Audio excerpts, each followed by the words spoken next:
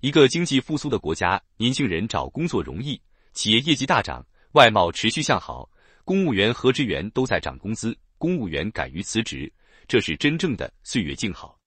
作者金轮。八月十五日，日本公布了第二季度 GDP 增速，出乎所有人预料。经济学家本来预期只有百分之二点九，结果日本第二季度国内生产总值折合成年率增长百分之六，创二零二零年最后一个季度以来最快增速，即三年来最快。日本上市企业二零二三财年一季度四至六月财报已基本出炉，净利润总计不含金融行业为十点八二万亿日元，约合人民币五千四百亿元，较上年同期增长百分之四十六点四。增长主要是由于软银集团 SBG 亏损大幅缩小，制造业增长百分之十一点二，半导体供应短缺的情况缓解，产量提升的汽车等运输设备表现良好。除 SBG 以外的非制造业增长百分之二点一，许多企业宣布上调业绩，预计二零二三财年总额将达到历史最高水平。说日本经济已经复苏是可以确认的，那么日本做对了什么？怎么就从一个超低的龟速增长走到今天了？我们仔细讲讲。一日本产品在努力赚欧美的钱。日本手上有好几张烂牌，烂牌之一是人口急剧下降。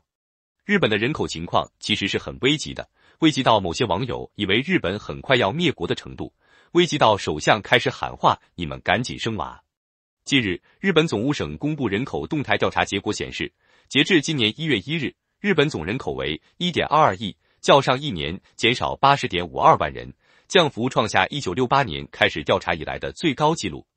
由于冲绳县人口数量从此前的增加转为减少，这也使得日本四十七个都道府县首次全部出现人口减少情况。根据联合国全球人口规模数据，日本已从一九九零年时的全球人口第七大国滑落至二零二二年的全球第十一位。最新预测认为。到二零五零年，日本的总人口数将继续滑落至全球第十七位，跌至越南以及菲律宾之后。日本一个经济大国的人口数量，未来将跌到了越南和菲律宾的后面，确实让人觉得日本不行了，快要灭国了。日本是如何在人口急剧下降的情况下实现经济增长的？我们来剖析一下日本的外贸出口数据，就可以了解到部分真相。六月，日本出口八万七千四百四十一亿日元。同比增长百分之一点五，连续二十八个月实现增长。进口八万七千零一十亿日元，同比减少百分之十二点九。日本外贸总额十七万四千四百五十一亿日元，贸易顺差四百三十亿日元。这是日本过去近两年二十三个月以来首次实现顺差。原因也很简单，出口多了，进口少了。汽车、机电产品、化工产品等的出口额增加，推高了整体的出口。再就是资源价格上涨的情况趋于稳定，原油等的进口额减少，降低了进口成本。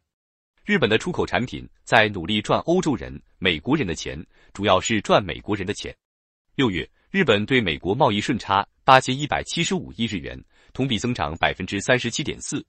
六月，日本对欧盟出口九千一百八十一亿日元，同比增长百分之十五。对欧盟贸易逆差二百六十二亿日元，同比下滑百分之八十一点三。再这么干下去，日本对欧洲很快也是顺差。很多网友还在说日本失去了三十年，这哪像失去三十年的样子？日本的制造业确实很给力，欧洲、美国都需要，这是实打实的买卖。零二职员、公务员都加薪。我说过一句话，所谓高质量 GDP，就是给普通人涨工资的 GDP。日本第二季度 GDP 增速上来了，这还不算啥，关键是很多日本人加工资了，包括很多公司职员和公务员。说好的经济危机，日本不行，以及大萧条呢？怎么他们还加工资了？我严重怀疑这是假新闻。结果发现，界面新闻转发了日经中文网八月七日消息。日前，日本最大经济团体英团联公布了二零二三年春季劳资谈判的最终统计结果。大企业包括定期加薪与上调基本工资在内的合计加薪率达到百分之三点九九，比二零二二年的实际情况高出一点七二个百分点，平均加薪幅度上升了五千八百日元，约合人民币二百九十三点四七元，达到一点三三六万日元，约合人民币六百七十六点零八元，均为约三十年来的最高水平。此次以二十一个行业的二百四十一家大企业为对象展开调查，统计了十六个行业一百三十六家企业的回答，加薪率与一九九三年的百分之三点八六相当，平均加薪幅度与一九九二年的一点三三九万日元持平。羡慕，公务员也即将加薪了。据八月七日的外电报道，日本公务员最高人事机关人事院建议，将本会计年度的公务员平均月薪调涨百分之二点七。其中包括底薪调高百分之零点九六，涨幅将达到二十六年来最高。日本公务员可能获得逾二十年来最大幅度加薪，一般职务的公务员平均年薪将提高到六百七十三万日元，三十三点七万人民币。人事院也建议修改法规，让更多员工可以周休三日，而非只有那些有育儿或看护需求的员工。政府的财政负担则增加约一千七百二十亿日元。不过，公务员加薪幅度少于大企业员工，因为公务员要为人民服务，所以加薪幅度不能高于大企业员工。再说，不加薪不行了，日本的通胀太厉害了。日本六月份整体通胀率升至百分之三点三，八年来首次超过美国。日本人民确实意见很大。显而易见的事实是，日本已经告别通缩，通缩比通胀可怕多了。通货紧缩会引发消费者购买意愿能力降低。供过于求导致物价下跌，长期的货币紧缩会抑制投资与生产，导致失业率升高与经济衰退。我的看法，通缩就是螺旋式下降，一路滑到底。自上世纪九十年代以后的很多年，日本一直处于通缩状态。日本政府如盼甘霖一般，希望有点像样的通胀，终于盼到了。外贸顺差，很多人加薪，告别通缩，证明日本经济确实开始复苏。零三年轻人不想考公务员，日本人抱怨的事依然很多。比如，二零二二财年，日本国民负担率已由一九七零年的百分之二十四点三升至百分之四十七点五。换言之，国民收入的近一半被扣除用于公共负担。有人建议，为解决少子化问题，以后还可能需要缴纳更多的社会保险费。社交网络上怨声载道，认为政府拆东墙补西墙，挤兑国民的钱包。日本公务员也在抱怨加班太多，虽然收入还算稳定，但是没时间花钱。九九六真的不算啥，有的公务员一天只睡三个小时。据媒体报道，二十四岁日本女孩山口美子此前在日本司法部当过两年国家公务员。我以为能五点准时下班，现实是大家都得加班到深夜。我每天只能睡三小时，午饭时间也很短，想去厕所也得问上司。这和包身工有什么区别？不，连包身工都不如。去年有疫情，后生劳动省加班最为严重。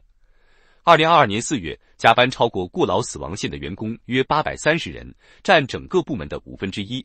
更有员工一个月加班时间达到二百二十六个小时。这和黑煤窑有什么区别？应该直接报警。一名三十多岁的后生劳动省公务员向朝日新闻透露，他经常工作到凌晨三四点回家。忙的时候，部门七八成的人在末班车结束后也在工作。他表示：“我感觉这份工作会影响我生命健康，休息日也会很紧张，这根本不是一个能让人保持健康的长期工作环境。”我为日本的公务员打抱不平，日本的公务员领导真的太过分了。正因为公务员如此繁忙的工作，以至于休息和吃饭都没时间，所以日本的年轻人对公务员这个职位没什么兴趣。近年来，日本报考国家公务员综合岗位的人数持续下降，被录取后工作不到十年就离职的人数也在增加。日本广播协会报道称，远离当官成为日本近年来的一种社会现象。二零一二年，日本国家公务员综合岗位的报考人数为二点三万人，此后报考人数持续下降。二零一八年，有一点九万人报考，首次跌破两万人。二零二三年。该国报考国家公务员的人数减少至一点四万人，是有记录以来的第二低值。不但年轻人不想当官，而且已经当官的很多想离开。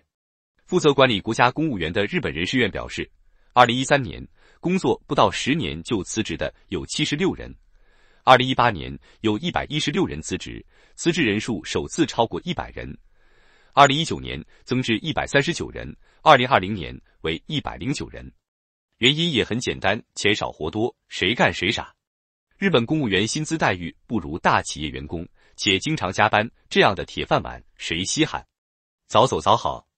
根据日本文部科学省于五月二十六日公布的调查报告显示，二零二三年春季毕业的大学生就业率较二零二二年增长了百分之一点五，达到百分之九十七点三，这是时隔三年以来首次超过上一年的数据。不当公务员，大把职位由我选，这是日本年轻人的底气。零四真正的岁月静好，一个经济复苏的国家，年轻人找工作容易，企业业绩大涨，外贸持续向好。公务员和职员都在涨工资，公务员敢于辞职，这是真正的岁月静好。人有了选择的权利和空间，不必因为一个饭碗去勉强自己，这是巨大的进步。日本是怎么实现这种复苏的？除了国际形势的变化，我认为也与日本曾经经历失去的三十年有关。一九八九年一月七日，昭和天皇驾崩，明仁天皇继位，年号平成。二零一八年是平成三十年。平成元年的一九八九年是日本泡沫经济的顶峰。一九九零年初，日本股市雪崩，楼市雪崩，年轻人面临就业冰河期，找不到工作，减薪裁员的情况大面积出现。从一九九零年到二零一八年，日本的平均经济增长率为百分之一左右。平成时代对日本来说是共克时间和艰难改革的三十年。平成时代，日本政府出过臭棋、歪招，也下过猛药、狠招。一路趔趔趄趄走过来，背负人口下跌的巨大压力，也在教育方面备受诟病，但是居然就走出了隧道，看到了光明。原因何在？我认为主要和一大举措、三大因素有关。我们该如何借鉴日本经验？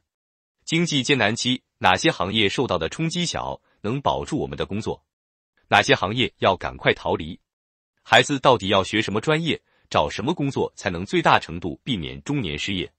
到底要不要存钱？日本人为什么那么爱存钱？